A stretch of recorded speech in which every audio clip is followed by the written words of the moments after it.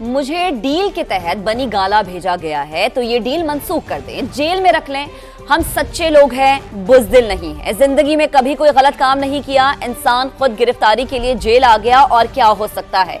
Adiala jail में पहली बार बुशरा बीबी की सहाफियों से गुफ्तगू। कहा, मेरे घर को सब जेल बना दिया गया, वो कोई होटल तो नहीं। मुजाकरात के लिए बहुत से लोगों को मेरे पास भेजा गया। यहाँ पहुँचती थी तो भूल जाती थी कि शोहर को क्या पैगाम देना है। कमज़ोर औरत नहीं हूँ। अपनी शर्मिंदगी छुपाने के लिए मुझ पर झूठा इल्ज़ाम लगाया गया। सब कुछ बानी पीटीआई और पार्टी को कमज़ोर करने के लिए किया गया है। अडियाला जेल में पहली बार बुशरा बीबी की सहाफियों से गुफ्तगू। कहा, मेरे घर को सब जेल बना दिया गया, वो कोई होटल तो नहीं। मुजाकरात के लिए बहुत से लोगों को मेरे पास भेजा गया। यहाँ पहुँचती थी तो भूल जाती थी कि शोहर को क्या पैगाम देना है। कमज़ोर औरत नहीं हूँ। अपनी शर्मिंदगी छुपाने के लिए मुझ पर झूठा इल्ज़ाम लगाया गया। सब कुछ बानी पीटीआई और पार्टी को कमज़ोर करने के लिए किया गया है। अडियाला जेल में पहली बार बुशरा बीबी की सहाफियों से गुफ्तगु। कहा, मेरे घर को सब जेल बना दिया गया, वो कोई होटल तो नहीं। मुजाकरात के लिए बहुत से लोगों को मेरे पास भेजा गया।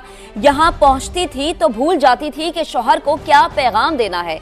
कमज़ोर औरत नहीं हूँ। अपनी शर्मिंदगी छुपाने के लिए मुझ पर झूठा इल्ज़ाम लगाया गया। सब कुछ बानी पीटीआई और पार्टी को कमज़ोर करने के लिए किया गया है। अडियाला जेल में पहली बार बुशरा बीबी की सहाफियों से गुफ्तगु। कहा, मेरे घर को सब जेल बना दिया गया, वो कोई होटल तो नहीं। मुजाकरात के लिए बहुत से लोगों को मेरे पास भेजा गया। यहाँ पहुँचती थी तो भूल जाती थी कि शोहर को क्या पैगाम देना है। कमज़ोर औरत नहीं हूँ। अपनी शर्मिंदगी छुपाने के लिए मुझ पर झूठा इल्ज़ाम लगाया गया। सब कुछ बानी पीटीआई और पार्टी को कमज़ोर करने के लिए किया गया है।